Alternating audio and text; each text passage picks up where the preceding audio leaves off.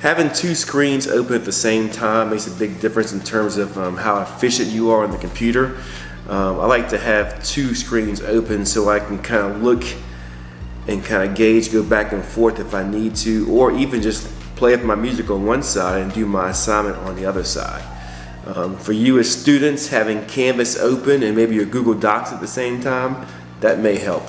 You know, but two screens is definitely a way to go if you want to be a little more efficient with your activities and your assignments and your Google searches and your research and your, and your internet use in general. Okay, um, the technology tip of the day is to have two screens open at the same time. And if you're like me, you probably have multiple screens or tabs open at the top of your computer screen.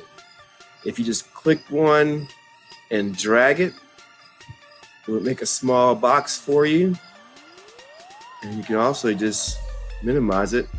pick another one, grab the box over here, minimize that one. So now you have two screens open to work with. This comes in handy quite a bit when you're copying from one screen to the other or reading an assignment and trying to do your own assignment. But um, that's the technology tip of the day to create two screens onto one screen. Now, what if you can do three? You guys try doing three. Let me know if it works or not. All right. See you later.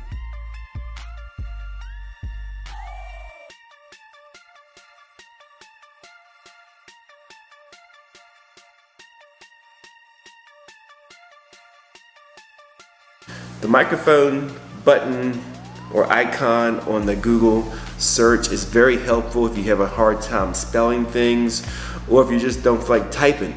It's a little quicker. You click it, it gives you the answer, you can keep on moving.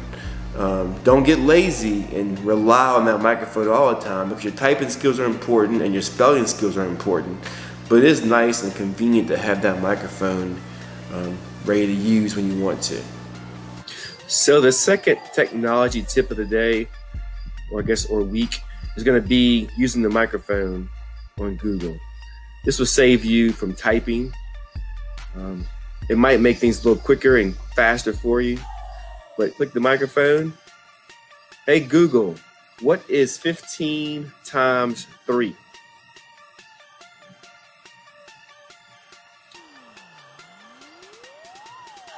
And there's your answer as well as a nifty calculator. So use the microphone to help you find information about things you, uh-oh, look at that, animation about things you would. According to Wikipedia, animation is a method in which figures are manipulated to appear as moving images. That's pretty interesting. So once again, use the microphone to help you find bits and pieces of information you're interested in doing.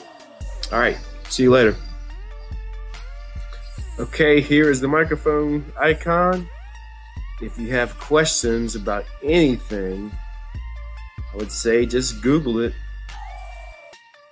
And it may help if you guys put down for kids in your search. All right. Have fun.